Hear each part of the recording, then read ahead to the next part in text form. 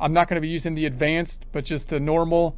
It'll usually ask if you're a robot, and we're going to say we're going to say that we are not a robot, and then we'll go into the sample company file, which already has data in it. So you can see how that's going to be important because now I can navigate around here. So this is going to be the tool that we'll use for the first half of the course. Second half of the course, we'll, we'll go into using, uh, see if we can use an actual company file, which possibly you can leverage the free 30-day trial for. And then if you want to look into the student file, you can look into, I would just type into your browser, uh, QuickBooks Online free student, something like that.